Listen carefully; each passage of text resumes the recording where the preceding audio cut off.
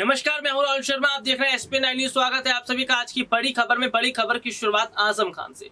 UP MLC चुनाव के हाल ही में नतीजे सामने आए और यूपी एमएलसी चुनाव के नतीजे देखकर आज़म खान ने बीजेपी की तारीफ़ की है।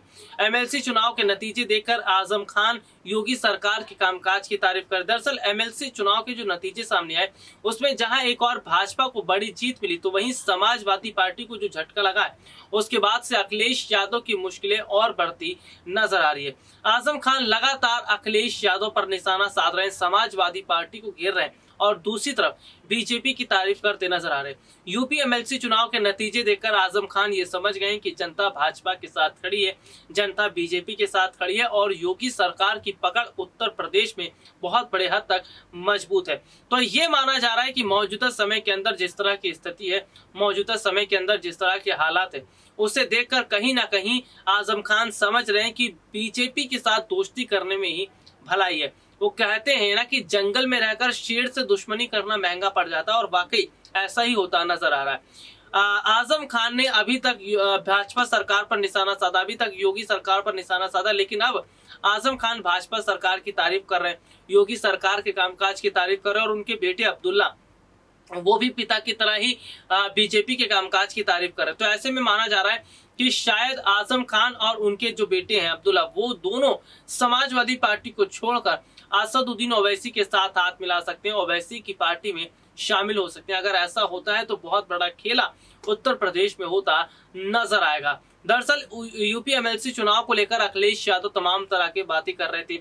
जीत के दावे कर रहे थे, लेकिन ऐसा कुछ होता नज़र नहीं आया। तो यहाँ पर ये देखा जा रहा है कि आज़म खान ने सीधे तौर पर अखिलेश यादव से मुँह मोड़ना शुरू कर दिया है।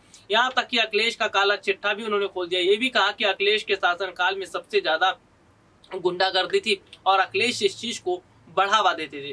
तो ये देखा जा रहा है कि अखिलेश यादव की पोल लगातार आज़म खान खोलते नज़र आ रहे हैं, जिसका फ़ायदा बीजेपी को मिलेगा। दरअसल 2024 के लोकसभा चुनाव से पहले दो बड़े चेहरे अगर समाजवादी पार्टी से अलग हो जाते तो बड़ा नुकसान अखिलेश यादव को होगा। एक तो शिवपाल यादव है, जो बीजेपी में जाने का मन बना रहे हैं। दूसरे आज़म खान है। अगर वो समाजवादी पार्टी छोड़ते तो नुकसान होगा। देखिए, यादव और मुसलमान वोट बटेगा, जो कि सही बात है।